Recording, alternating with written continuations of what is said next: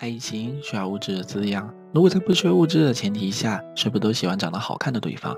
可其实爱情靠的是感觉，物质和外貌只是一个微不足道的条件。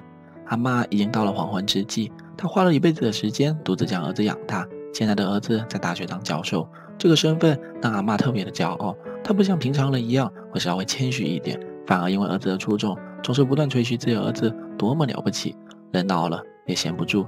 所以，他和儿时的发小阿贝在一家咖啡厅工作。阿贝一直喜欢着阿妈，可碍于面子，并没有将自己的情感流露出来。而阿妈直爽的性格也几乎没有去多想，只是认为阿贝跟自己的关系比较好而已。和他们工作的这家休闲吧几乎都是老年人来光顾。有位这种婆婆和阿妈非常不对付，她也喜欢阿贝，可也经常在阿妈面前炫耀自己的儿子。两人经常一言不合就开架，阿贝总是在这个时候出面劝架，可是并没有什么用。女人的战斗一旦开始，就是必须得有结果。可最终阿妈没有多想，可内心却也是极度的在乎阿贝。她在事后强硬的质问阿贝，为什么不在开价前拉住自己？可这句话却引起了阿贝女儿尤拉极度的不爽。她已经老大不小了，可却一直没有出嫁，因为自己的父亲已经不是一次两次为了阿妈受伤，所以尤拉并没有给阿妈好脸色。而阿妈也懒得去跟尤拉计较，只是怼了她几句就转身离开。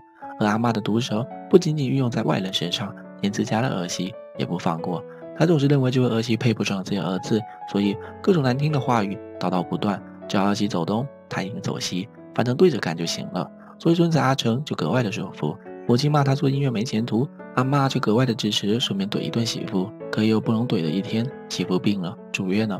医生知道婆媳关系不好，就劝阿妈不要让儿媳情绪激动。于是，一家人就决定将阿妈送到养老院。这个举动让阿妈非常难受。所以他便在夜晚独自一人出去溜达，无意间却看到了一家摄影馆，所以便打算去拍一张照片，然后就独自离开，用这张照片当成遗照。可当从照相馆出来后的阿妈就遇到了流氓痞子的骚扰，对方不断的挑衅，搞得阿妈非常的不爽。可从对方的墨镜中，阿妈发现了自己的不同，她变年轻了，变成了二十岁的模样。那家照相馆也凭空消失了，变成了一家餐饮店。虽说变年轻值得高兴，可高兴的同时。他要怎么跟家人解释？于是索性干脆不回家算了，给家人留了一张纸条，就彻底的离开了。阿妈的名字叫做莫顺，她找了阿贝租了一间房子。可能是因为记忆衰退的问题，阿贝并没有发现阿妈变得年轻了，只是将空房子租给了小年轻莫顺。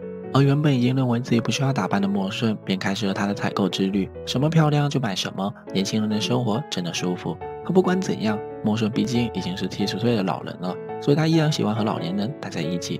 他就看到张婆婆在台上唱歌，吸引了很多老人。这下子莫顺不服气了，他也来到台上高歌一曲，那嗓音征服了在场的所有人，包括莫顺的孙子阿成。而阿成之所以出现，是因为想看看咖啡馆有没有奶奶。家人已经快找疯了，警察那边也没什么线索。本以为自己很难会和家人扯上关系，可没想到自己的孙子却找到了他。他的乐团其实一直都没有什么起色，他想请求莫顺帮助自己。孙子的事情，莫顺当然愿意。可直到莫顺看到了阿成的乐团后，差点气得吐血，因为阿成的乐团真的是太潮流了。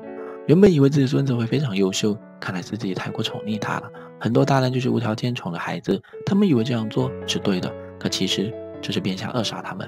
等到他们长大后，还有人甚至会怪罪自己的父母为什么那么宠自己。可虽然差劲，但还不至于到不堪入目的境界。所以莫顺就陪了自己的孙子，开始了他们的乐团路演。凭借莫顺更改的曲风以及独特的嗓音，他们的乐团瞬间爆红。数不尽的演出费让他们步入了小资。而优秀的人总会有人赏识。一位艺人导演找到了莫顺，想要请求他加入自己的团队，但这过程却出现了一些意外，导致导演被警察抓走了。莫顺才不想要做什么红人，他就只想快快乐乐的享受年轻人的生活。但他却误会了自己的家人，他们真的快找疯了。而警察在最近也终于查到了莫顺的银行卡有资金流动。在监控下，他们只能看到一把紫色雨伞。可这一幕却让阿贝觉得不对劲，就好像自家的主客莫顺。一群人第一反应就是阿妈被绑架了，所以阿贝偷偷在莫顺房间找到了假牙。这下子他肯定莫顺就是劫犯，所以他打算在半夜偷偷袭击他。但因为连脑体衰，却反被莫顺给绑住了。莫顺嘲笑阿贝人老了不行喽，可最后还是将真相告诉了阿贝。青春时的记忆突然开始浮现，阿贝想起了阿妈年轻时的模样。他有了危机感，他喜欢阿妈，不管她什么样子，他都喜欢。可是现在他要赶紧锻炼身体，不然更老了，阿妈或许就更不理他了。他的穿着打扮也更加时尚，一身皮衣，酷炫摩托，阿贝已经将自己认为最帅的模样展现出来了。他从没有怎么自信过，但两人的差距依然很大。莫顺就像一颗冉冉升起的太阳，和阿贝就像即将日落的朝阳，都很美，可却不同。但很快，莫顺就发现自己身体的秘密，只要身体出血，就会慢慢的衰老。而受伤的地方，阿贝正在仔细的端详，却被女儿尤拉给看到了。一场误会就这样发生了，莫顺被赶出了阿贝家中。无家可归的莫顺只能找到导演。虽然他不喜欢出名，但为了孙子的乐团，他还是得需要一些关系。而在一场很关键的电视台演唱会，莫顺替孙子打出了乐团的名气。而此时的阿成却因为出了车祸躺在医院。这一切莫顺都知道，但为了阿成的乐团，他必须有舍有得，先完成阿成的梦想，再去看阿成。而赶到医院的莫顺却得知阿成需要输血，恰巧医院没有足够的血源。所以，莫顺他决定为了孙子而变回曾经的模样。反正他本来就已经活了七十年了，阿成的人生才刚刚开始。在输血前，一家人也都得知了莫顺的秘密，所有的误会都被解开，所有的恩怨就此终结。他们是一家人。时间很快就过了一年，阿妈当初的决定是正确的。她的演出让阿成的乐团成功出道，在台下的他此刻别提有多开心。和阿贝一如既往穿着拉风的皮衣，骑着酷炫的摩托出现在阿妈面前。可摘下面具的他，却变成了二十岁的模样。但他依然爱着阿妈，因为这才是爱。片名《奇怪的他》这部电影还有另一个别名《重返二十岁》。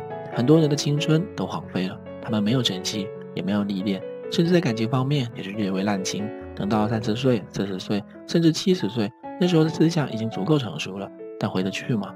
回不去了。爱情到底是什么？哪怕到了七十岁，或许都回答不上来。但有一点可以肯定，你在哪里，我就想去哪里。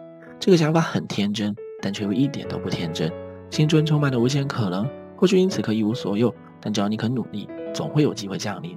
爱情需要物质，可却是先有爱才有情，最后才是爱情。感觉对了，你啥都是好的。难道你不相信你的另一半足够优秀吗？物质这种事情根本就不是关键，重要的是你们双方有没有爱。爱可以创造无限可能。我是少年。如果你喜欢我的解说，请点个关注。那咱们下期再见，拜拜。